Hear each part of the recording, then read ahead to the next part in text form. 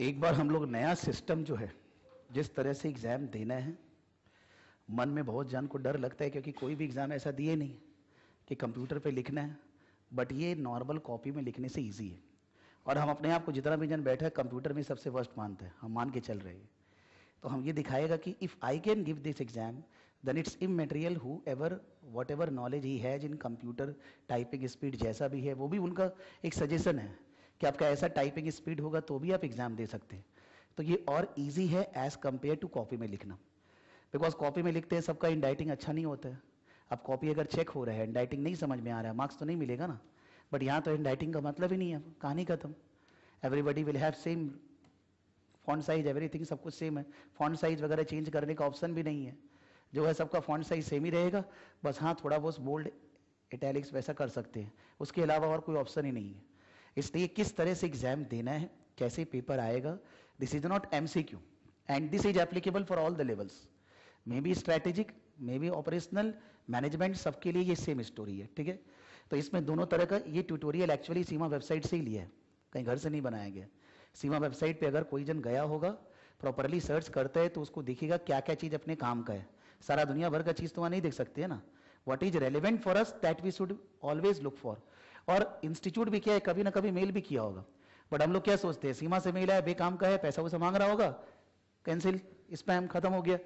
लेकिन कभी कभी काम का चीज़ भी तो आ सकते हैं। तो इंस्टीट्यूट ये चीज़ सबको मेल भी किया है कि जिससे कि आपको पता चले न्यू सिस्टम है क्या।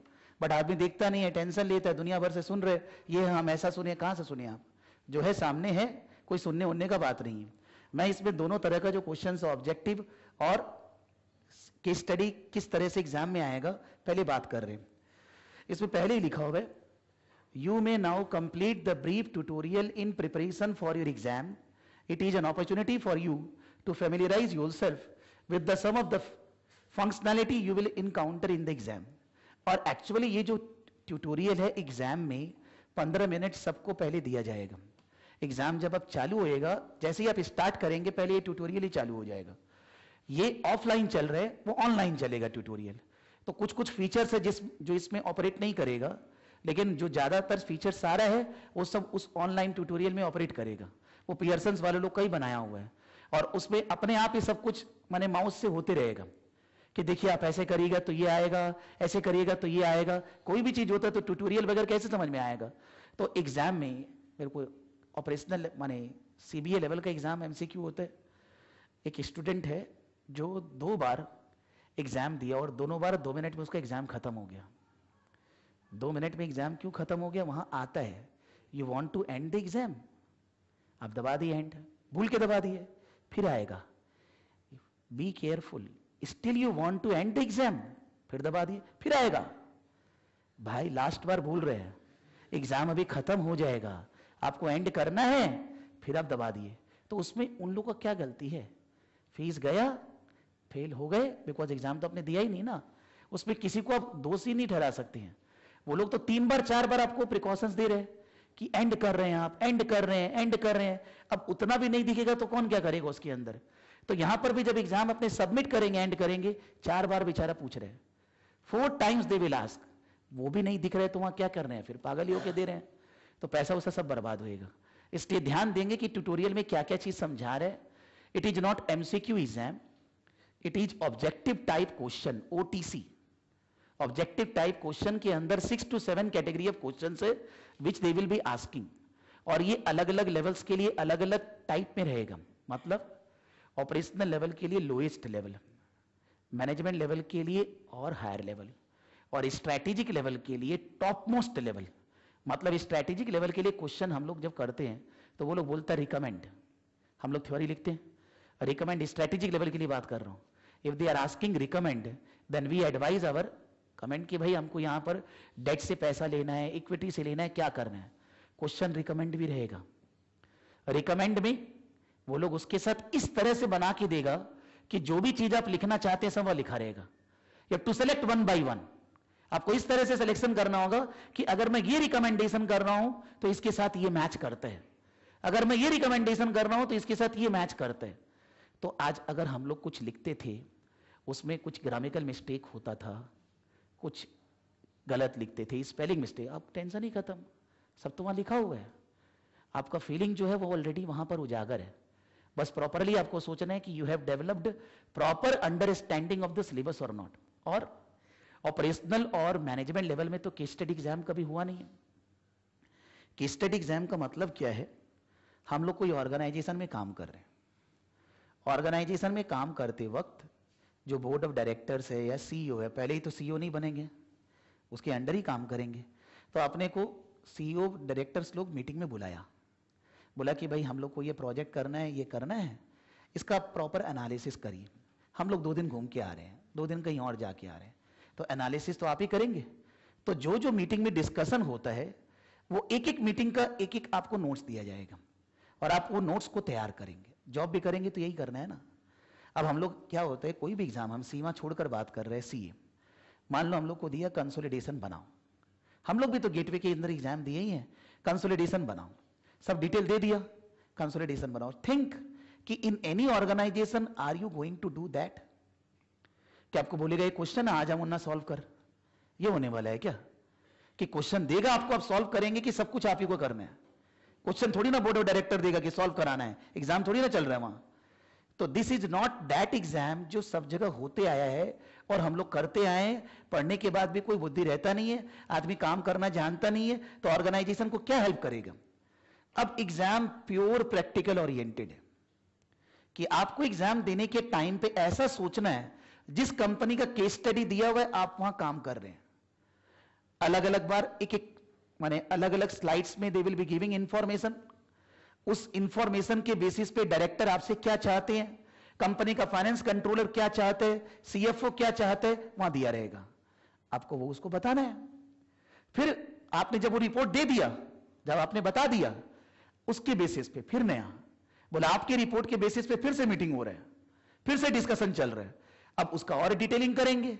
यानी कि पूरा एक केस स्टडी के अंदर धीरे धीरे करके वो लोग आपसे पूरा ऑर्गेनाइजेशन में क्या होना चाहिए सब पूछ लेगा।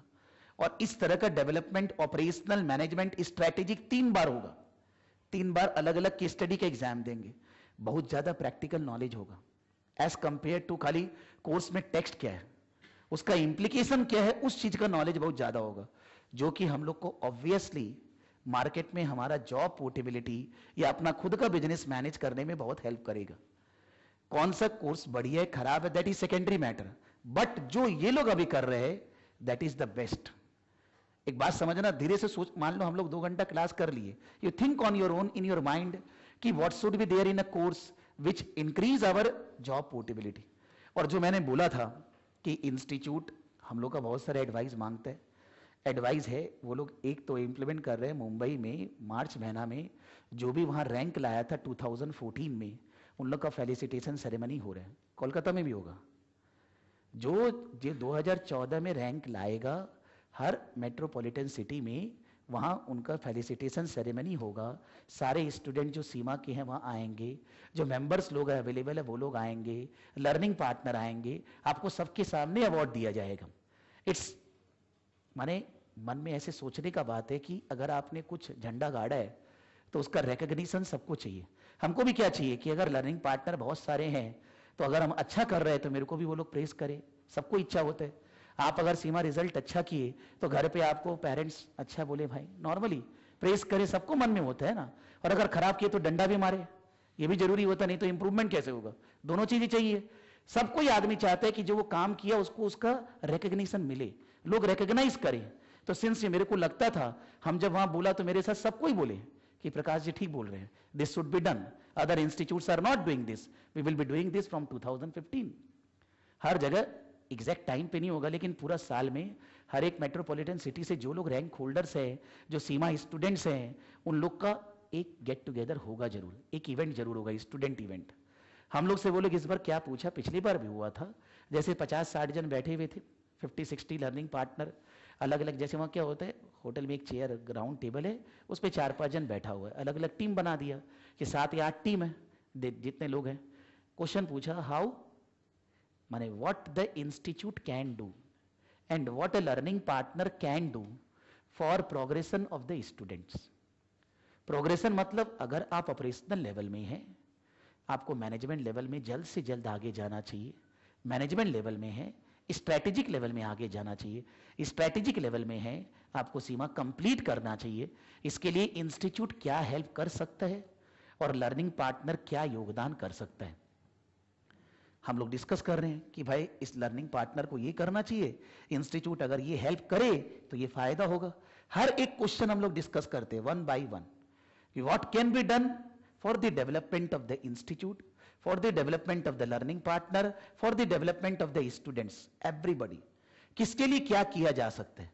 मेरे ख्याल से कोई इंस्टीट्यूट इंडिया में नहीं है जो ये सब बात कर रहे हैं। कोई इंस्टीट्यूट नहीं है। तो दैट टाइप कॉर्पोरेट से क्या टाई अप किया जाए? स्टूडेंट्स जो क्लियर करते हैं, उनका जॉब पोर्टेबिलिटी कैसे बढ़े? सब कुछ डिस्कस होता है। और सबसे डिस्कस करके फिर डिसाइड किया जाता है। वहाँ एक आदमी लिखते रहता है साथ में। जो भी बोल रहा है वो टाइप हो रहा है, फटाफट। और वो स्क्रीन पे आते रहते हैं, फटाफट। कि ये आ रहा है, उसमें से जो जो पॉइंट ठीक है, उसको रख लिए बैलेंस छोड़ दिए। अब सारा चीज़ तो इंडिया वाले डिसाइड नहीं कर सकते। है those things are mailed to UK UK decision लेगा इन 15 डेज़ वन मंथ कि कौन कौन सी चीज़ में चेंजेस हुआ। जैसे हम लोग जितना लर्निंग पार्टनर अपना एक ईमेल बना लिया, अपना एक व्हाट्सएप कि सब लर्निंग पार्टनर एक दूसरा को हेल्प करेंगे। बिकॉज़ कोलकाता में अगर मैं हूँ तो हम दूसरा का कोई ट्यूशन नहीं खा रहे हैं। या मान लो कोई श्रीलंका में या पाकिस्तान में है तो हम उसका ट्यूशन नहीं ले रहे, ना वो मेरा ले रहे। It's not fighting it's basically helping each other learning partner जो जैसा जिसके पास जो है वो बेटर दूसरा को देगा तो उससे स्टूडेंट का प्रोग्रेशन बढ़ेगा। तो इस तरह का डिस्कशन हाई लेवल पे होता है कि क्या कर सकते हैं। और this type of meeting they will be having for learning partner now in year three two four times her quarter में परफॉर्मेंस क्या है, क्या नहीं है, क्या कर सकते हैं, क्या प्रॉब्लम हो रहा है, उसको डिस्कस किया जाएगा और स्टूडेंट को भी रिकॉग्नाइज करवाया जाएगा कि you are doing CIMA in new year you will be seeing second third fourth January in every newspaper Bengali हो हिंदी हो इंग्लिश हो टीवी में ऐड हो सब जगह लोग बिकॉज़ उनको समझ में आ गया। हम बोल बोल के सूख जाते हैं कि आप खाली घर में बैठ के डब्बा में बंद रहेंगे, नहीं होएगा। You have to promote your course good things भी है तो प्रमोट करना होगा ना। So they are having with huge type of all these print media everything for promoting CIMA कि व्हाट इज़ सीमा तो जो भी, मेरे को ऐसा लगता है कि आने वाले समय में कोर्स बहुत बढ़िया है, अगर अच्छा से पढ़ाई किया जाए, केवल पास होने के लिए नहीं। बिकॉज़ जो लोग ऑलरेडी क्वालिफाइड है, वो खाली पास होके क्या करेगा? उसको तो ये सोचना ही चाहिए कि भाई हम और बढ़िया से पढ़ के एग्ज़ाम देंगे, ना कि केवल पास होने के लिए। गौतम जी, ठीक है? ये आप सोचिए भाई, क्यों? अगर आप पास हो भी जाते मान लीजिए, क्या फ़ायदा होता? उससे क्या लाभ होगा? तो लेवल तो इंक्रीज नहीं हुआ ना। अब तो सीए ऑलरेडी है, फिर क्या लाभ होगा? इसलिए ध्यान दीजिए कि अपने को रेगुलरली पढ़ना है, एक डेढ़ घंटा तो अच्छा होएगा। पहले एक बार मैं ये, दोनों हम लोग एक एक स्टडी है, आधा आधा घंटा लगेगा। कैसे एग्ज़ाम्स होगा, उसको समझ लेते हैं। फिर हम लोग एक बात कर लेंगे कि अपने एग्ज़ाम क्लास में कैसे पढ़ने वाले हैं what will be our way of teaching अलग अलग सब्जेक्ट कैसे कंप्लीट करने वाले हैं, और किस बैच का माने ऑपरेशनल मैनेजमेंट लेवल का क्लास कौन सा कौन सा दिन अपने रखेंगे। आज का कहानी यही हो रहा है। फिर नेक्स्ट दिन से जो जिस लेवल का है, उस लेवल में उसका माने सिलेबस वगैरह क्या है, वो बात करेंगे। ठीक है? हम पहले ऑब्जेक्टिव क्वेश्चन में चला रहे हैं, ठीक है?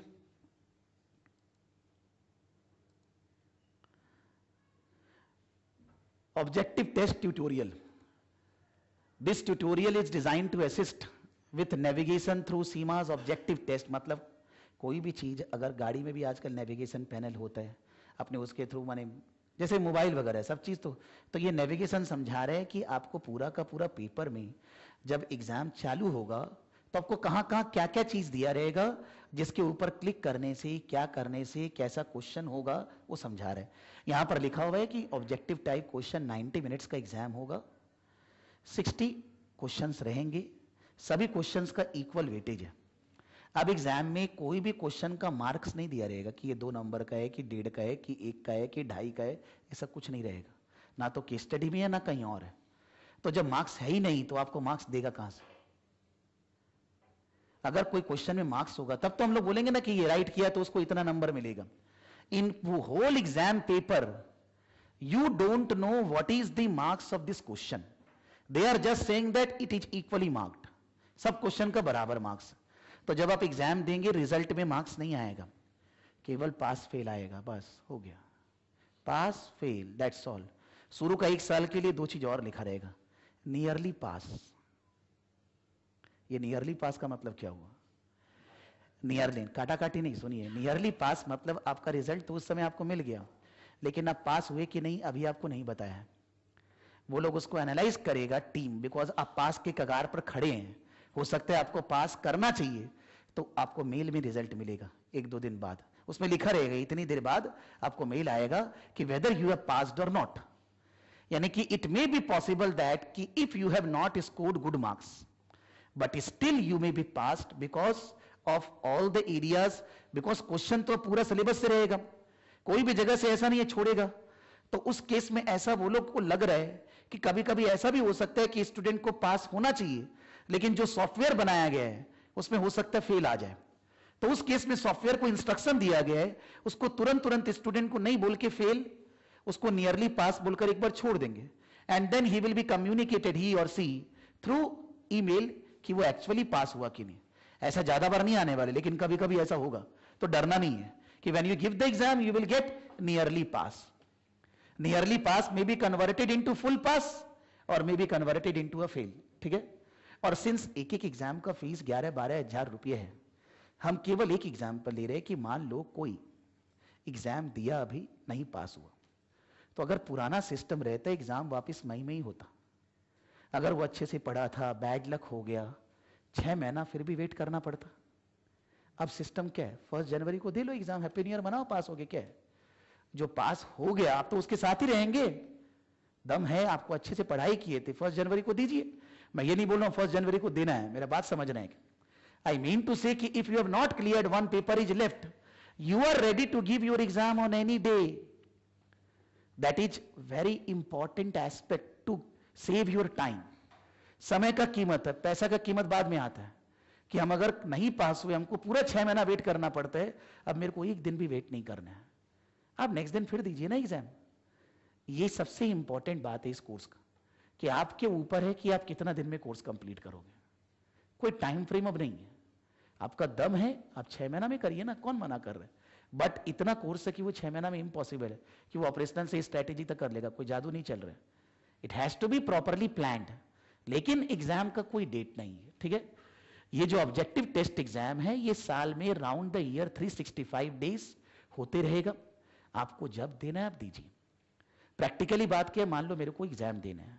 एफ़ वन का एग्ज़ाम देना है एफ़ टू का एग्ज़ाम देना है। तो हम वेबसाइट पे गया।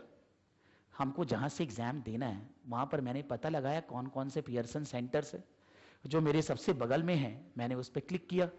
क्लिक करने के बाद आएगा कि वहाँ पर अवेलेबिलिटी कब कब है।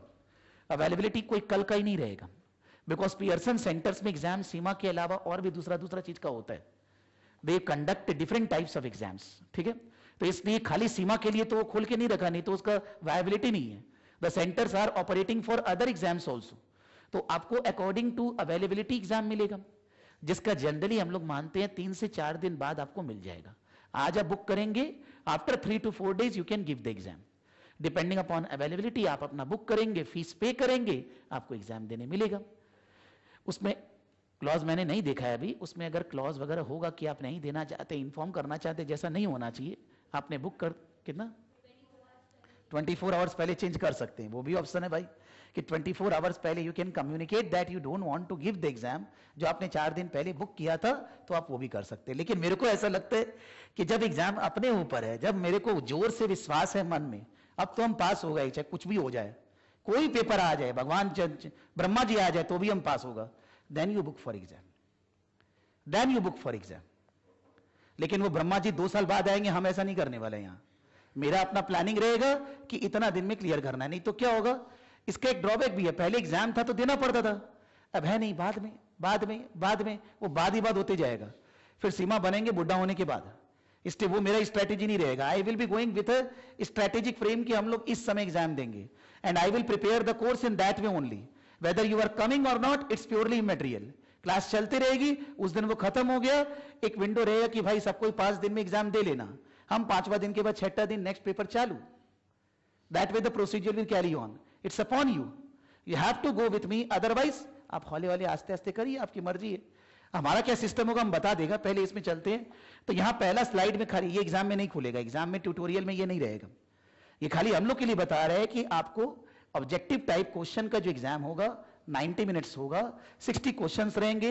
हर क्वेश्चन का इक्वल मार्किंग है। कोई मार्क्स वगैरह नहीं दिया रहेगा।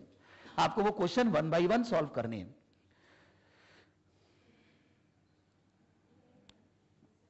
अब है। यहाँ लिख रहे कि जब एग्ज़ाम चालू होगा, यहाँ पर टाइमिंग स्टार्ट हो जाएगा टॉप राइट कॉर्नर में। 60 मिनट्स है तो 60 मिनट्स में से हम बकबक करते करते सात मिनट खा चुके ऑलरेडी सेकेंड से सात वो चल रहे हैं, ठीक है? और पूरे एग्ज़ाम कितना पेजेस है, लिख रहे सेकेंड पेज में हम लोग आए आउट ऑफ़ 17 पेजेस कि आपको ध्यान दे। आप चाहते हैं कि आपको टाइम नहीं देखना, आपका माथा खराब होता है तो आप इस पर क्लिक करेंगे टाइम गायब हो गया। वैसे वो चालू रहना चाहिए that is advisable since already घड़ी टुक टुक बीत रहे तो वो दिखते रहना चाहिए।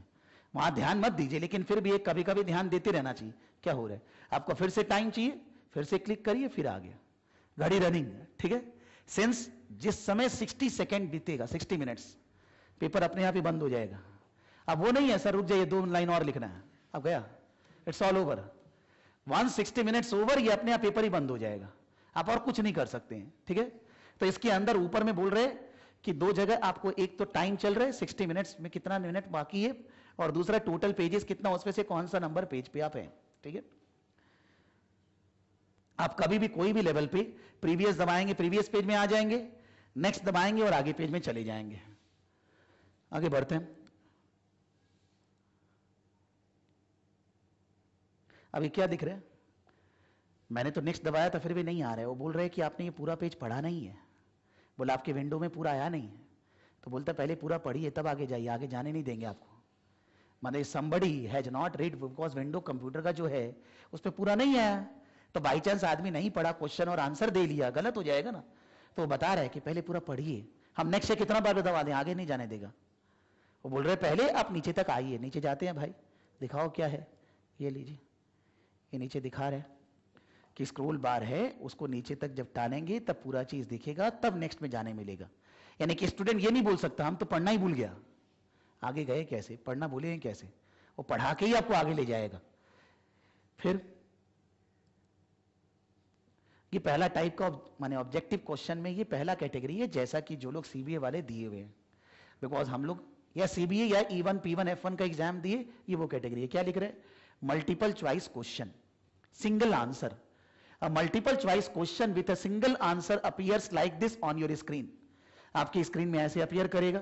Which of the following number is the answer to the sum below बोलता फोर प्लस फोर क्या होता है? एग्ज़ाम में नहीं पूछ रहे हैं। ऐसे ट्यूटोरियल बनाया हुआ है।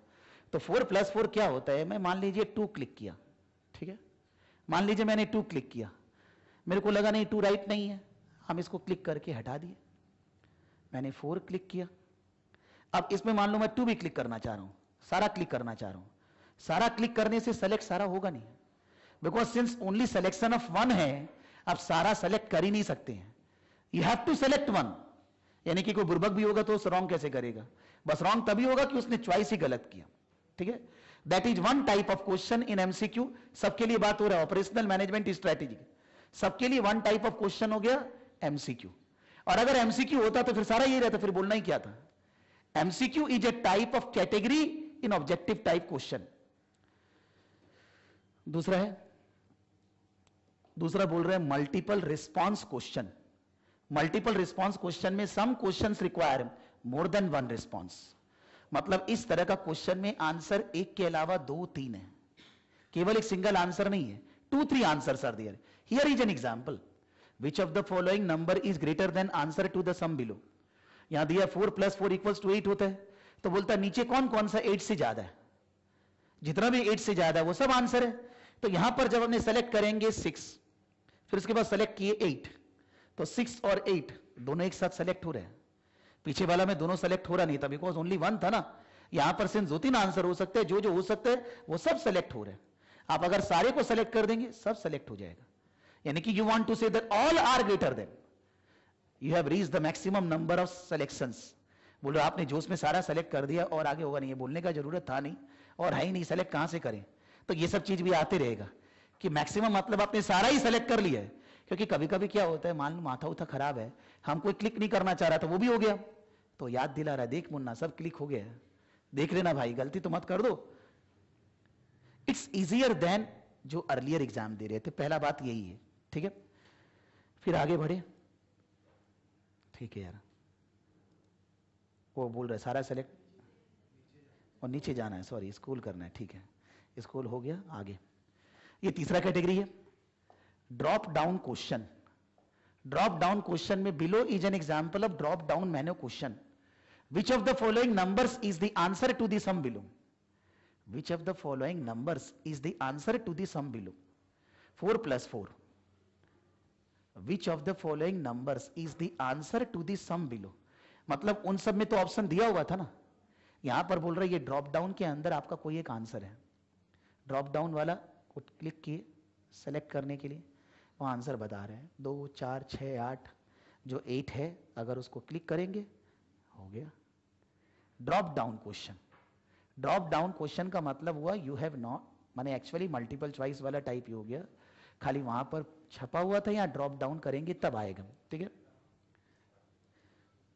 फिर है? ये चौथा कैटेगरी है। ड्रैग एंड ड्रॉप क्वेश्चंस बोल रहे place the number below in a numerical order starting with the lowest on the left hand side मतलब लोएस्ट हाईएस्ट हाईएस्ट ऐसे जाना है। तो इन सब में सबसे लोएस्ट कौन सा? पंद्रह। पंद्रह को उठा के यहाँ लगा दिए। फिर नेक्स्ट लोएस्ट छब्बीस। यहाँ लगा दिए। फिर मान लीजिए जान मुझे गलती करना है, ये लगा दिए। फिर ये लगा दिए, ठीक है? फिर ये लगा दिए। मान लीजिए आपको लगाने के बाद लगा, नहीं, ये तो ठीक नहीं है। कहाँ चेंज करना है? इसको इधर लाना है, इधर ले आए। ये पचास नीचे आ गया, फिर इसको उठा के ऊपर लगा दिए। ड्रैग एंड ड्रॉप आपको लगता है सभी गड़बड़ है, सब फिर यहाँ ले आइए। सब यहाँ ले आए। ठीक है? जो मर्ज़ी है। खेलना है नंबर खेलना, मज़ा है। ठीक है? कुछ है नहीं। If you think it is earlier से ज़्यादा इजी है। माने as compare to writing this is much easier than earlier one तो आदमी टेंशन लेगा कंप्यूटर पे एग्ज़ाम है, क्या करें? क्या है? पहले से इजी है, ठीक है? क्वेश्चन ये थोड़ी ना क्वेश्चन है सर मज़ा नहीं चल रहा है। ये ट्यूटोरियल है sir this is not the question question क्या आएगा? रुकिए अभी। अब बोल रहे चौथा। वो चार कैटेगरी हो गया पांचवा। Gap fill question gap fill question आपको पूछा गया है कि इन दोनों का समेशन क्या होगा? फिलिंग द ब्लैंक्स तो समेशन क्या होगा? अब आपको लिखना ही है यहाँ पर। समेशन क्या होगा? यू हैव टू राइट तो जब आप राइट करेंगे, आपको करेंसी लिखने का ज़रूरत नहीं है। करेंसी ऑलरेडी प्रिंटेड है। डॉलर है डॉलर पाउंड है pound you don't have to print the currency you just have to write the numericals जोड़ के जो आएगा, वो लिख दीजिए। लिखा होगा टू डेसिमल प्लेसेस तो टू डेसिमल प्लेसेस तक आपको लिखना है। ठीक है? फिर ये पांचवा हो गया। छठा category six category gap fill with drop down questions जो ड्रॉप डाउन एक तो था ना, बहुत सारा ड्रॉप डाउन ज़्यादातर स्ट्रैटेजिक लेवल में सब ऐसा ही रहेगा। उन लोग को ऐसा बच्चा नहीं खिलाने वाला है। बिकॉज़ सारा जो थ्योरी लिखना चाहते थे, अब दो पन्ना, वो सब ऐसे ड्रॉप डाउन में डाल देगा। बोले, इधर का ड्रॉप डाउन उधर का, इधर का, उधर का, इधर का। आप बोलेंगे पाँच तो ड्रॉप डाउन में I done three correct two wrong marks will be awarded कितना वो आपको नहीं मालूम है, हमको भी नहीं मालूम हो सकता है उसके लिए आएगा नियरली पास देखा जाएगा बाद में और क्या। हो सकता है और पास अगर आप होंगे तो ठीक है पास आएगा उसके अंदर। किसका क्या नंबर है, कौन सा ड्रॉप डाउन का, किसी को नहीं मालूम हम लोग। तो मार्क्स तो मिलेगा ही नहीं ना, कितना नंबर आया, ये होगा ही नहीं। वो एक बोलने का मतलब है। और क्या है कि सिंस इस तरह नंबर खेला खेली है ना, आदमी बेवकूफ़ से बेवकूफ़ भी बैठेगा ना स्ट्रेटेजिक लेवल में भी, सौ में बीस, पच्चीस तो ले ही आएगा। तो अगर चालीस नंबर रखते एग्ज़ाम में पास होने के लिए, सब पास ही होता है, ऐसे ही बोलते डिग्री फ्री में दे रहे हैं। That has to be high level marks अगर वो ज़्यादा मार्किंग नहीं होगा तो फिर डिफ्रेंसिएशन नहीं होगा कि कौन बढ़िया है, कौन खराब है। इसलिए वो मार्किंग को ज़्यादा करना पड़ेगा। आप सोचना एक बार कि आपको इतना मज़ा दे रहा है एग्ज़ाम देने में तो उसके लिए कुछ तो तकलीफ़ देगा ना। तो स्ट्रैटेजिक लेवल में ज़्यादातर क्वेश्चन सब ऐसा ही रहेगा। स्टोरी लिखा, भर भर के ड्रॉप डाउन रहेगा, भर भर के। बिकॉज़ एक बात में तो नहीं बोला जा सकता ना, उससे ये थोड़ी ना पूछेगा, यहाँ पेस्ट लगेगा कि ये लगेगा फ्री का चल रहा है क्या? उतना नहीं है। That can be asked in operational level not in management level not in strategic level as you go higher objective type question is the most difficult way to handle because उसमें आपको मज़ा आ रहा है, लिखना नहीं है, लेकिन ब्रेन बहुत लगाना है और पूरा कोर्स का ब्रेन लगाना है। हम लोग क्या लगता है, कोई टॉपिक खराब है, नहीं पढ़ते हैं यार, मन नहीं लग रहा है। अब नहीं चलेगा। You have to study entire syllabus in proper manner ठीक है? तो इसलिए हम बोला था कि जो लोग जो भी थे उतना तक तो ज़्यादा से ज़्यादा पढ़ के कर लो। नहीं सुधरा तो क्या करेंगे? आपने अपने लिए खुद गड़बड़ी की है। इसलिए अभी भी है कि जब शुरू शुरू में चालू होगा थोड़ा सा लीनियंट रहेगा वो लोग। वो सब हम डिस्क्लोज नहीं कर रहे but they have said for 2015 they will be lenient as compare to what they will be doing in 2016 ठीक है? इसलिए 2015 is a good year to pass because 2016 से नियरली पास नहीं आएगा। Pass fail that's all no nearly for first one year they are going with nearly pass so that they can communicate think in that way कि even though this is new pattern but हम लोग जितना भी जन बैठे हैं, चाहे कोई भी लेवल में 2015 में सीमा बन सकते हैं, अगर मन में जोश हो तो इजिली एकदम, ठीक है? तो यहाँ लिख रहे हैं कि 10 इंटू टेन हंड्रेड होता है, भाई ठीक है, सबको पता है। Enter the result of the following calculation and then choose if it is higher और लोअर देन कैलकुलेशन वन मतलब ये 9 इंटू थर्टीन जो आएगा, वो 100 से हायर है क्या? अगर हायर या लोअर है तो बोलता है इस ड्रॉप डाउन में जाइए हायर और लोअर दो टो है। उसमें से कोई एक सेलेक्ट कर लीजिए, वहाँ आ गया हायर ठीक है?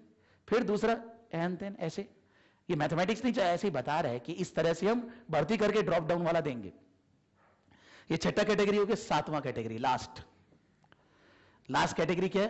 बोलता below is an example of a short question click on the map below to indicate the location of Australia हम लोग कोई भारत का मैप देकर ये नहीं पूछने वाला बैंगलोर कहाँ पर है। This is not the question they are just asking कि this is also a category हम लोग को थोड़ी ना वर्ल्ड मैप में कहाँ साउथ अफ्रीका नॉर्थ ये सब थोड़ी ना देखना है। दे आर तो जस्ट आस्किंग कि इस टाइप का भी क्वेश्चन बन सकता है। लेकिन इस टाइप का क्वेश्चन जनरली ऑपरेशनल लेवल में ही रहेगा।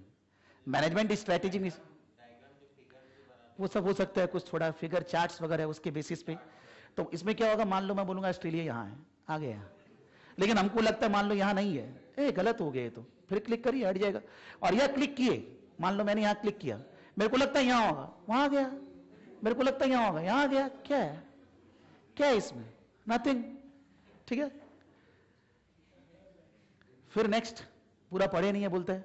स्क्रोल डाउन करिए। कर लो भाई स्क्रोल डाउन कर लिए, कुछ है नहीं उसके अंदर। आगे।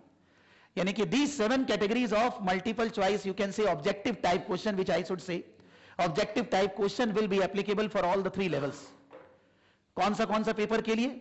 ऑपरेशनल लेवल में F one P one E one management level में टू टू टू और स्ट्रेटेजी लेवल में three three three and these three three three nine papers exam can be given on any day when you feel you are confident there is no time frame आपकी जब मर्ज़ी, आप exam में बैठ जाइए। तीन सौ पैंसठ दिन जब, ठीक है? जहाँ से एग्ज़ाम देना है आपको। बगल में नहीं देना है में जाके देना वहाँ से दीजिए, कोई बात नहीं है। Book your seat give the exam अगर आपको लग रहा है हमको कल एग्ज़ाम देना, हम तो मर जाएगा। दे भाई, कोई बात नहीं है। थोड़ा दूर जाना होगा पियर्सन सेंटर जहाँ पर कल के लिए भी सीट अवेलेबल है। वहाँ चली जाइए, क्या है? लेकिन एग्ज़ाम मेरे हिसाब से बुक तब करना जब हमको लगे हम तो पास ही होगा वहाँ से निकल के हम पास ही होने वाला है। हम अंदर गया मतलब बाहर आएगा, पास होकर। If I am that confident then I will be filling the form because wastage of money not required आपको लगता है कि आप एक साल में एक पेपर पढ़ेंगे, करना सत्रह साल में और क्या? इट्स अपॉन यू लेकिन जब एग्ज़ाम देने जाएँगे दुग्गी वाला बात नहीं होना चाहिए। हम फेल भी हो सकते नहीं करना अब। वो तो अब कर रहे थे, अब नहीं करना फुल्ली कॉन्फिडेंट होकर हम एग्ज़ाम में घुसेंगे पास होकर निकलेंगे। ठीक है? यहाँ लिख रहे using the calculator first year के लिए आपका फ़िज़िकल कैलकुलेटर भी अलाउड है। 2015 ओनली 16 से नहीं। You can take your own calculator लेकिन उसके अलावा नथिंग केवल कैलकुलेटर और आईडी प्रूफ। आईडी प्रूफ तो वो लोग जमा ले लेते हैं। अंदर में आप अपना कैलकुलेटर लेके जा सकते हैं। उसके अलावा कुछ नहीं। कोई पेज, पेन, पेंसिल नथिंग ठीक है? कैलकुलेटर यहाँ पर दिया, ऊपर कैलकुलेटर है हर हर पेज में था, मैंने अभी तक बोला नहीं था। जहाँ आया, वहीं पर मैं खोल रहा हूँ। हर पेज में ऊपर कैलकुलेटर यहाँ पर है। आप कैलकुलेटर को क्लिक करेंगे। कैलकुलेटर क्लिक किए तो कैलकुलेटर में दो तरह का कैलकुलेटर ये साइंटिफिक है। अगर आपको साइंटिफिक वाला में साइन साइन कॉस थीटा सब लिखा हुआ है, कोई काम का नहीं अपने लिए। अगर हमको लगता है इतना बटन उफ, क्या हो जाएगा? तो I can change the mode mode ऊपर है ये मोड मोड को मैंने क्लिक किया। क्लिक करने से स्टैंडर्ड स्टैंडर्ड कैलकुलेटर आ गया नॉर्मल वाला। All the both the two calculators are there which ever calculator you want to use again you can change the mode दूसरा कैलकुलेटर आ जाएगा। ठीक है? अगर आपको लगता है कि पहला साल 2015 में हम लोग तो सीमा बन जाएँगे, अगर आप मेरी बात सुनेंगे कोई टेंशन नहीं है। तो अगर हम लोग 2015 में सीमा बन रहे हैं, आपको नहीं यूज़ करना है, आप घर से ले जा सकते हैं अपना कैलकुलेटर। कोई बात नहीं। फ़र्स्ट ईयर ठीक है? अब ये समझ लीजिए कैलकुलेटर को बीच में आ गया। हमको हर समय खुला रखना है, ठीक है? बोला, ऊपर में, ऊपर यहाँ जाएँगे।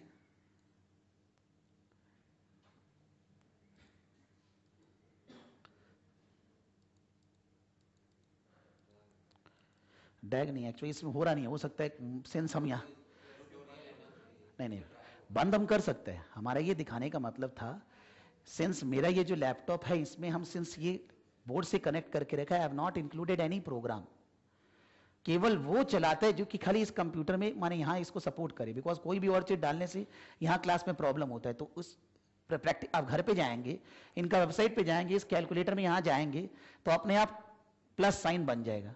प्लस साइन बनने के बाद आप इसको कर्सर को ऐसे साथ में ड्रैग करेंगे ना, वो इधर चला जाएगा कैलकुलेटर दूसरा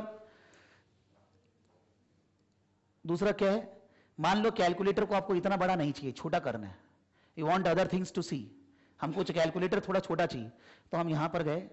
यहाँ पर यहाँ दिखा रहा नहीं है मेरा प्रोग्राम में। ये नीचे यहाँ। यहाँ पर ऐसे एरो दिया हुआ है।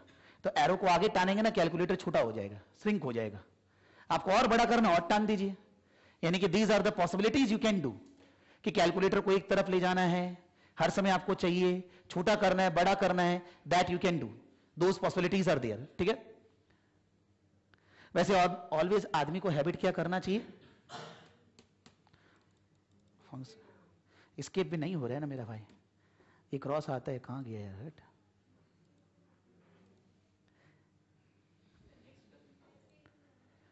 नेक्स्ट ठीक है, चलते हैं एक बार, छोड़ो। एक्चुअली इसमें नहीं हो रहा है आपका घर पे जो भी प्रॉपर कंप्यूटर होएगा, उसमें होएगा। कोई ऐसा कोई हाई फाई प्रोग्राम नहीं चाहिए, लेकिन मैंने कुछ डाल के नहीं रखा इसमें। जैसे कि मेरे को बोर्ड चलाने में कभी असुविधा ना हो, ठीक है? सब डिलीट किया हुआ पूरा कंप्यूटर में।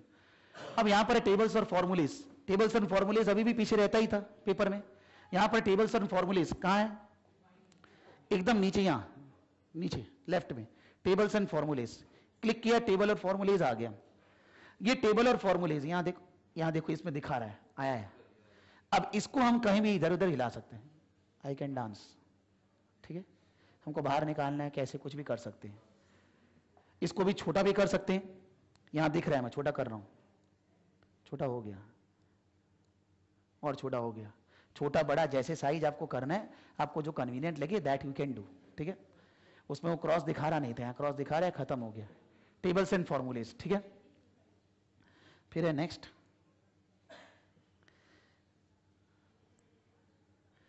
अब यहाँ पर क्या है? ध्यान देंगे, एक स्क्रैच पैड लिखा हुआ है। स्क्रैच पैड का मतलब है, जब आप क्लिक करेंगे, एक वर्ड फ़ाइल खुल गया।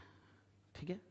इसमें आप कुछ भी लिख सकते हैं, आपको कोई चीज़ लगता है जो कि बाद में आपको ज़रूरत पड़ेगा anything short notes rough page this is rough page इसमें जो भी लिखेंगे, मिटेगा नहीं, जब तक आप उसको डिलीट नहीं करेंगे। आई एम राइटिंग एनीथिंग कुछ भी लिख दिया ठीक है? अब हम इसके साथ जो प्ले अराउंड करना है कट कॉपी पेस्ट हैन तैन कुछ भी कर सकते हैं, लेकिन इसको कॉपी करके यहाँ नहीं ला सकते यू कैन नॉट बस यहीं पर इसी स्क्रैच पैड के अंदर ही डांस कर सकते हैं। बाहर नहीं निकलेगा। बाहर कुछ भी लिखना है, वो आपको लिखना होगा। ये वाला यहाँ से बाहर नहीं आएगा। Scratch pad is general working ये जनरली काम कब आएगा? या तो कुछ हम लोग को वर्किंग करना है। और या केस स्टडी में कुछ कुछ पॉइंट्स हमको मन में आ रहा है पढ़ते वक्त। तो पढ़ते वक्त पॉइंट हम बाद में भूल जाएगा। हम एक बार यहाँ लिख लिया। फिर हम स्क्रैच पैड को वापस से क्लिक करेंगे ना, वो लिखा हुआ रहेगा मेरा, मिटेगा नहीं। ठीक है? तो scratch pad is rough paper you are given इसमें पूरा पेज ही पेज है, जितना आपको लिखना लिखते जाइए, उतना समय नहीं रहेगा। ठीक है? एक स्क्रैच पैड एग्ज़ाम में फिजिकली भी वो लोग देगा। स्क्रैच पैड फिजिकली बोलने का मतलब पेज नहीं रहेगा स्लेट रहेगा। जैसे बचपन में स्लेट रहता था, उसके ऊपर आप लिखिए, मिटाइए, जो भी करिए। तो आपको इस स्क्रैच पैड से अगर काम नहीं करना है, उससे भी कर सकते हैं। But I will advise we will be using this scratch pad because क्या है? सिंपल एग्ज़ाम्पल दे रहे मान लो इन्होंने एग्ज़ाम दिया। ये क्वेश्चन का आंसर पुराना सिस्टम में ये क्वेश्चन का आंसर दिया। दो पेज लिखा। इसको लगा वो ठीक नहीं है। इसने वो काट दिया। क्रॉस कर दिया ऐसे क्रॉस करने के बाद इसने नेक्स्ट पेज में नेक्स्ट पेज में एक आंसर फिर से लिखा। वही आंसर लेकिन जो इन्होंने पहले क्रॉस किया था, वो सही था। और जो इन्होंने बाद में लिखा, वो रॉन्ग था। इंस्टीट्यूट बोल रहे, हम लोग इंस्टीट्यूट बोल रहे मतलब हम नहीं। इंस्टीट्यूट बोल रहे कि एग्जामिनर ने देखा, इनका जो क्रॉस किया हुआ, वो सही है। और जो बाद में इन्होंने जो लिखा है, वो रॉन्ग है। इंस्टीट्यूट ने क्रॉस किया हुआ को टिक लगा के मार्क्स दिया, और जो इन्होंने लिखा था, उसको कैंसिल कर दिया। इनको मार्क्स फिर भी मिला। यानी कि फिर भी फेल हो जाए तो क्या बोले? समझना बात। कि that help is there with the institute और this is not there in CIMA this is there in all the professional exams हम भी सीए का कॉपी चेक करते हो और सीमा का कॉपी कहीं भी चेक नहीं होता है, खाली यूके सारा कॉपी वहीं जाता है। वो पूरा, सारा कॉपी जितना वर्ल्ड से सारा यूके में ही चेक होता है। अब, उनका बोलना है कि यूके का जो लोग है, उनका इंग्लिश आपसे सौ गुना खराब है। उनका इस चैलेंज वो लोग को बोलना जल्दी जल्दी आता है। That doesn't mean that grammatical mistake हम लोग से कम है। स्पेलिंग मिस्टेक हम लोग से कम है, ऐसा नहीं है, ज़्यादा है। तो स्पेलिंग मिस्टेक और ग्रामिकल मिस्टेक्स पे मार्क्स कटता ही नहीं है। डिडक्शन है ही नहीं। अगर हम लोग इंडिया से डरेंगे इस बात पे कि ग्रामिकल या स्पेलिंग मिस्टेक पे मार्क्स कटेगा नो डिडक्शन ये नहीं कि कुछ बोल रहे हैं और कुछ समझ में, वो नहीं होना चाहिए। But actually for grammatical and spelling mistake marks deduction है ही नहीं। इंस्टीट्यूट का इंस्ट्रक्शन, आप स्पेलिंग गलती करिए, कोई बात नहीं। कोई फ़र्क नहीं पड़ता। तो अगर हम लोग इंडिया से एग्ज़ाम दे रहे हैं, कोई फ़र्क नहीं पड़ता है ठीक है? दूसरा, क्या कोई भी जन कॉपी लिखेगा ये इंडिया से आया, पता चलेगा कि नहीं? उस पर स्टूडेंट का आईडी नंबर, ये सब कुछ नहीं रहेगा, लेकिन पता चल सकता है कि नहीं? इंडिया वाला का फीलिंग इंडिया वाला रहेगा कि नहीं? मेरा भारत मान वाला फीलिंग रहेगा। अगर थोड़ा सा भी बुद्धिमान आदमी होगा, उसको इंडिया के बारे में मालूम होगा कॉपी पढ़ के समझ में आ जाएगा कि इंडिया स्टूडेंट का है। तो अगर वो रेसिज्म होता है होता नहीं होगा, कोई भी एग्जामिनर ऐसा नहीं है नॉर्मली किसी तो रेसिज्म कुछ नहीं होता है जो जैसा लिखेगा वैसा नंबर मिलता है। किसी का भी साथ ऐसा नहीं होता है कि भाई हमको सत्तर मिलना चाहिए था, पैंतीस मिला। ये सब आपको भी काम का मतलब है, आपके मन में कुछ है, वैसा नहीं है। They are full pure every aspect से they are very pure for progression of the student लेकिन अब क्या है? अब तो कोई काटपीट है नहीं। तो अब फ़ायदा क्या है? मान लीजिए आपने ये वाला स्क्रैच पैड जो है ना यहाँ पर, उसमें कोई रफ वर्किंग किया, ठीक है? आपका टाइम वहाँ पर मेरा तो इकतीस मिनट बाकी है अभी। इकतीस मिनट बाद पेपर बंद हो गया। लेकिन स्क्रैच पैड में जो मैंने लिखा था वो तो लिखा रह गया। एग्जामिनर स्क्रैच पैड आपका खोला। स्क्रैच पैड में उसको दिखा, आपने बहुत तथ्य लिखा है। Marks will be given pass और अगर घर वाला स्केच पैड में लिखे है, वहाँ से कैसे दिखेगा? वो तो वहीं रह गया। इसलिए when you will write anything use scratch pad of the computer don't use scratch pad जो वो लोग देंगे। आप ही सोच लेना। बिकॉज़ ऐसा तो हो सकता है ना कि टाइम खत्म हो गया पेपर बंद हो गया, लेकिन स्क्रैच पैड में जो मैंने लिखा, उसके बेसिस पे मार्क्स अवार्ड दिया जाएगा। ऐसे वो लोग लिख रहे हैं, बोलेगा, आप कैसे बोले? वो तो लिखा है, हम भी बोल रहे हैं। देव रिटन कि we will not value your scratch pad writing but I know in scratch pad if you are writing proper thing marks will be awarded तो समझ लेना कौन सा स्क्रैच पैड यूज़ करना है, ये आपके ऊपर है, ठीक है? हम लोग वो वाला स्क्रैच पैड जो वो लोग फिजिकली देगा, वो ऐसी कोई वर्किंग करना है जो कि कोई मतलब नहीं है, वो कर सकते हैं। लेकिन कुछ भी मेरे को मन में आ रहा है लिखना है, हमको वहीं लिखना है। इट इज़ एडवाइजेबल ठीक है? दीजिए मत दीजिए, वो वहाँ से दिख रहा तो नहीं है ना। अब एग्जामिनर को समझ में आ जाएगा कौन सा क्वेश्चन का आंसर लिख रहे हैं। आपको फिर भी देना, दीजिए, कोई फ़र्क नहीं पड़ते, ठीक है? लेकिन स्क्रैच पैड वो लोग जो दे रहे हैं, वो यूज़ करेंगे कंप्यूटर वाला, ठीक है? फिर है बोल रहे क्वेश्चन विथ एडिशनल इंफॉर्मेशन ये ऐसा स्ट्रैटेजिक भर भर के रहेगा। वो जो सात कैटेगरी वाला क्वेश्चन है, उससे ज़्यादा ये सब रहेगा। बिकॉज़ हर क्वेश्चन में पाँच दस लाइन टक टक टक टक टक, फिर चालू उसके ऊपर। और ऑपरेशनल में सबसे कम। मैनेजमेंट में थोड़ा थोड़ा strategic level is the highest level OBC objective type question highest level of difficulty in strategic level तो नॉट दैट कि if you have not cleared one paper you will go in first January happy new year fail के साथ होएगा। इसलिए वो advice नहीं है। पहले बी कॉन्फिडेंट बी श्योर कि हम ये पा बिकॉज़ पैसा भी तो लेगा ना। बारह तेरह हज़ार रुपये अफ्रीका थोड़ी ना है। हमको ही दे देना, फ़ायदा नहीं है। ज़रूरत नहीं है। जब आपको लगे, मन में विश्वास आए कि हम पास होंगे तब एग्ज़ाम देना है। बे काम का ज़बरदस्ती बुक करके कि हम फेल हो गए, दोस्त पास हो गया, अब हम क्या करें? आज ही हमको फाड़ना है, नहीं करना है। ऐसा नहीं करना है। थोड़ा धीरज के साथ। शांति से एग्ज़ाम देना है। तो यह है कि एग्जिबिट है।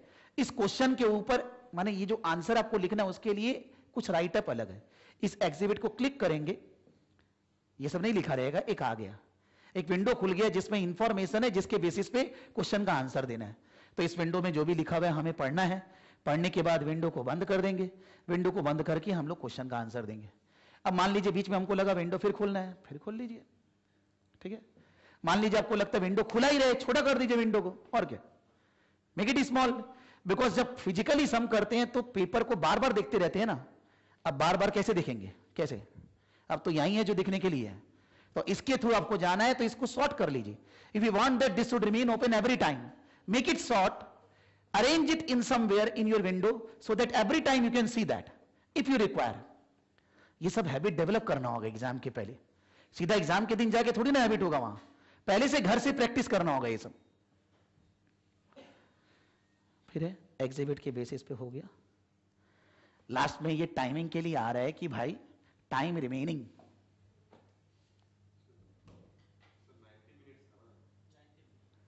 लेकिन ये ये ट्यूटोरियल एक्चुअली 60 मिनट का ही है। तो ट्यूटोरियल बोल रहे हैं कि यहाँ तो 58 दिखा रहा है, वहाँ दिखा रहा है 27 ठीक है, छोड़ो एग्ज़ाम में जो भी है, जो 90 मिनट्स होगा, उसमें से रिमेनिंग दिखाएगा, जब तक आप यहाँ पहुंचोगे। जब आपका एग्ज़ाम में पाँच मिनट बचेगा ना, पाँच मिनट तो एक वार्निंग वाला विंडो खुल जाएगा। बोलेगा, केवल पाँच मिनट बाकी है। एग्ज़ाम में भी बोलता है कि नहीं बोलोगे only five minutes left sir वो भी बोलते हैं, लेकिन अब तो सारा मिनट जो बाकी है, वो तो यहाँ दिख ही रहा है। पाँच मिनट थोड़ा ज़ोर से याद दिलाएगा बोलो कि फाइव मिनट्स बाकी है विंडो में डाला हुआ है कि भाई पाँच मिनट बाकी है, सुधर जाना, बंद होने वाला विंडो बोल रहा है your time has expired click okay to continue जब आपका साठ मिनट बीत चुका होगा अब आपको क्या बोलेगा? बोलेगा ओके कर दीजिए, हो गया आपका। टाटा, बाय बाय, हो रहे हैं। कि आपका समय खत्म हो गया? आप कुछ कर नहीं सकते हैं। आप कितना देर बैठेंगे? टाइम तो बंद हो गया पेपर तो वो ओके बोल रहे ठीक है? नेक्स्ट मान लीजिए कोई क्वेश्चन का आंसर हम लोग दे रहे थे कंफ्यूजन में थे। दो में से ये हो सकता है, थोड़ा पता, थोड़ा नहीं पता। तो हमने आंसर तो दे लिया। आंसर देने के बाद यहाँ टॉप में एक फ्लैग है फ्लैग दबा दिया। टॉप में फ्लैग दबाने से क्या होगा? लास्ट में आएगा कि ये वाला क्वेश्चन को आपने फ्लैग किया था कि आप फिर से देखोगे। देखना चाहते हो? फ्लैग दबाने से क्या हुआ कि when you will submit your solution at that time it will ask कि you want to review this question क्या आपको इसको रिव्यू करना है? नहीं करना मत, दबाइए। कौन मना कर रहे हैं? नहीं कर रहे हैं। ठीक है, आगे। फिर? कहाँ सबमिट होगी? हम बोल रहे हैं कि जब तुम्हारा 60 मिनट 90 मिनट हुआ, तब सबमिट होगा। लेकिन 90 नहीं हुआ। तुम 80 मिनट में पूरा पेपर कर चुके हो। 10 मिनट बाकी है। तो 80 मिनट में तुम कोई कोई क्वेश्चन हो सकता है, ऐसा कियोगे जो तुमको वापस देखना था?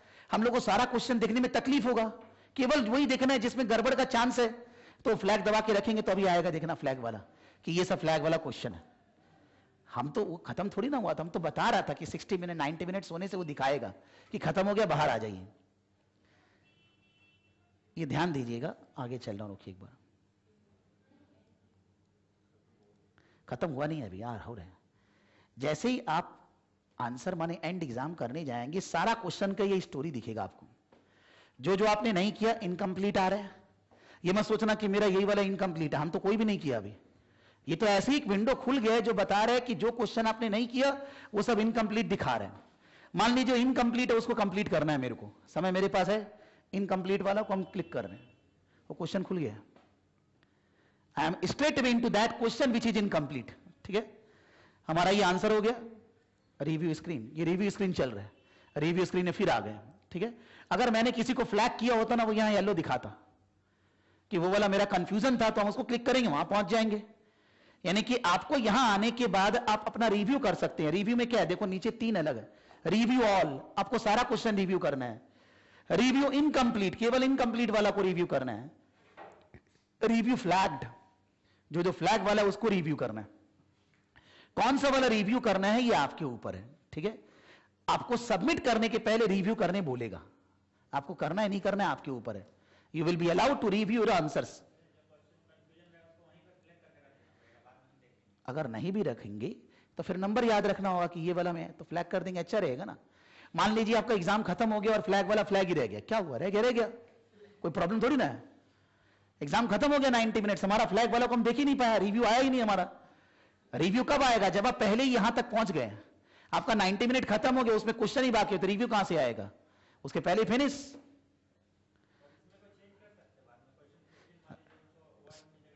लीजिए सर क्वेश्चन 14 में चले गए। कहाँ था? 14 में तो यहाँ क्वेश्चन नहीं था, एक सेकंड मान लीजिए हमको वन वाला क्वेश्चन को चेंज करना है। वन वाला में भी क्वेश्चन नहीं था। नहीं इनकम्प्लीट नहीं, इनको चेंज करना है ना, हम टेन में आ जा रहे हैं। Right? अरे, नहीं दिखा। ये नाइन नंबर वाला क्वेश्चन में आ गया हम। इसमें तुमको आंसर चेंज करना है। कर लो चेंज जाके क्या है? रिव्यू में सब कुछ दिखा रहे हैं। अब हो गया?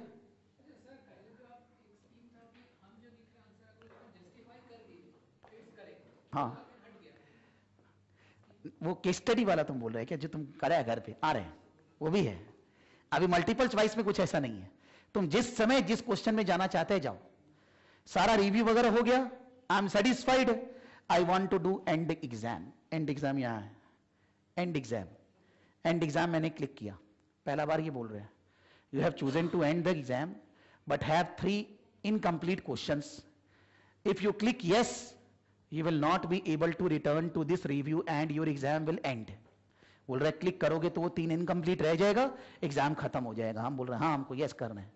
हमको नहीं कंप्लीट करना है। फिर बोले, जाने नहीं देंगे आपको। फिर से बोल रहे हैं please confirm that you want to end the review if you click yes you will not be able to return to this review फिर से याद दिला रहे हैं।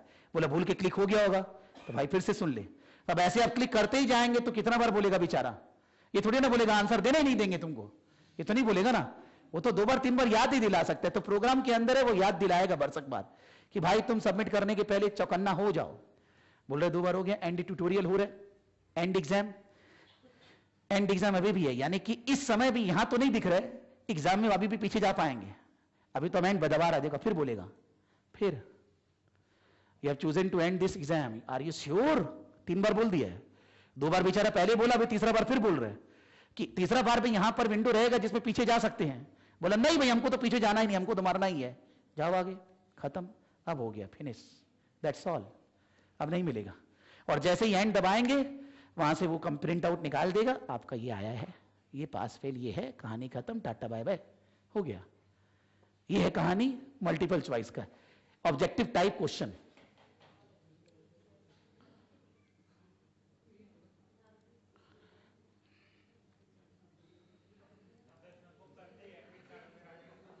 admit card माने एग्ज़ाम में क्या हुआ? उसका रिज़ल्ट आ जाएगा। एडमिट कार्ड माने क्या हुआ?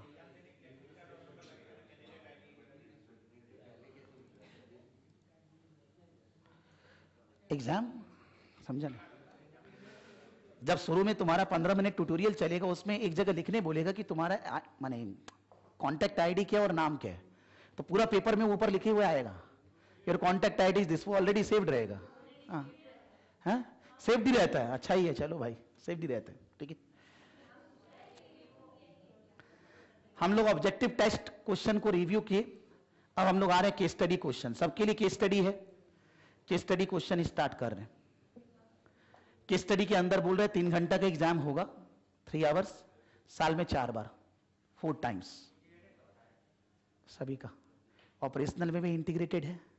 मैनेजमेंट में भी इंटीग्रेटेड है। और स्ट्रेटेजिक लेवल में भी इंटीग्रेटेड है। सबका एक नाम है केस स्टडी एग्ज़ाम इंटीग्रेटेड पहले वो लोग वर्ड यूज़ कर रहा था now they are using the word case study exam they are not using the word integrated the institute is using the word case study exam at all the levels सब में तो है ना? वो case study exam तीन घंटा का होगा, साल में चार बार होगा फेबर मार्च मोटा मोटी February end March beginning March mid तक चलेगा। मई अप्रैल एंड मई और अगस्त, सितंबर और अक्टूबर, नवंबर।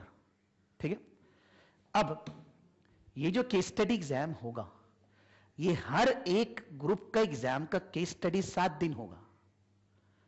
मतलब मान लो ऑपरेशनल लेवल का केस स्टडी 25 फरवरी से एग्ज़ाम मान लो।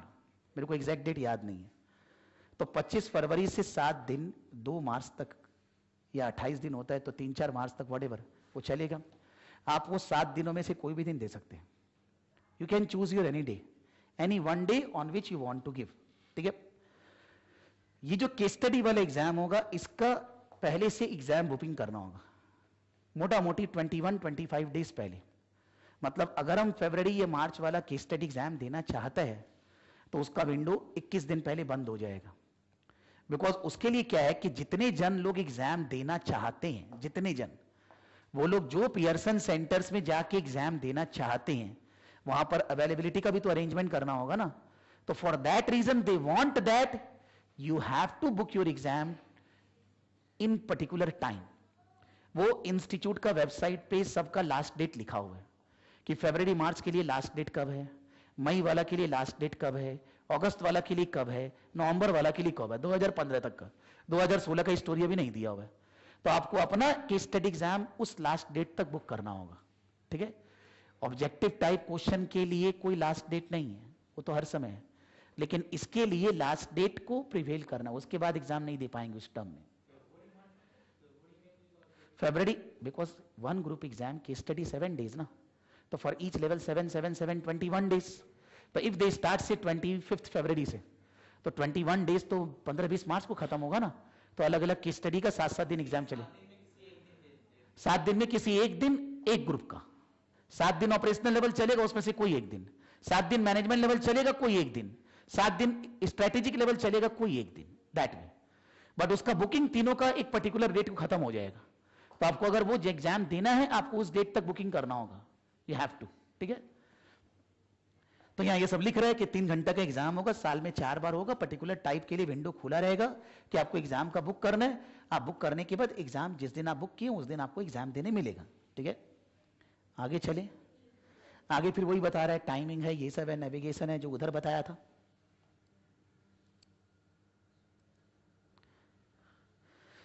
अब सबसे मेन इंपॉर्टेंट बात कि स्टडी एग्ज़ाम में कोई प्रैक्टिकल क्वेश्चन नहीं आएगा।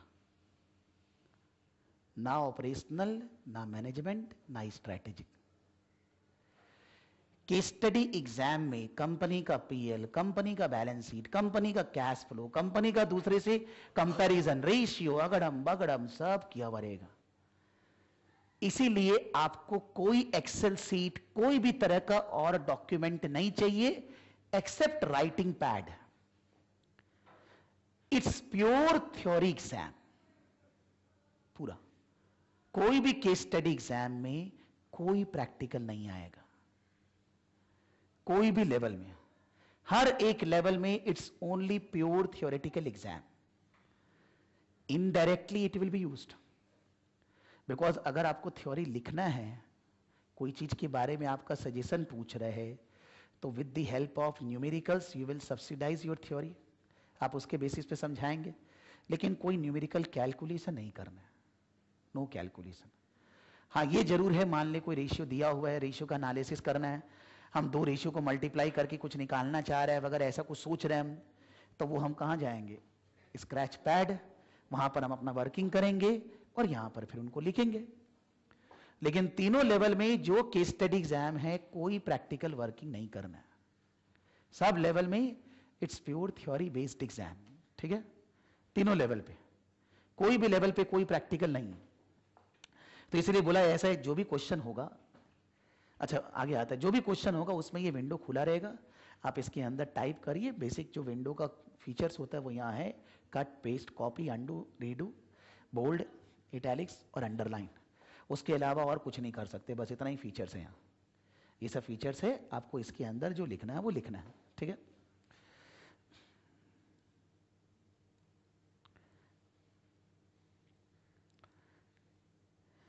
जो मैं अभी दिखाया विंडो में, घर पे क्या करना चाहिए कि को, कुछ लिख के अंडरलाइन वगैरह करने का प्रैक्टिस कर लेना चाहिए आदमी को, कि भाई मेरे को अंडरलाइन करना है तो कैसे करना कुछ है नहीं, वो सब हम लोग को आता है बट फिर भी at least we should try one or two times better रहता।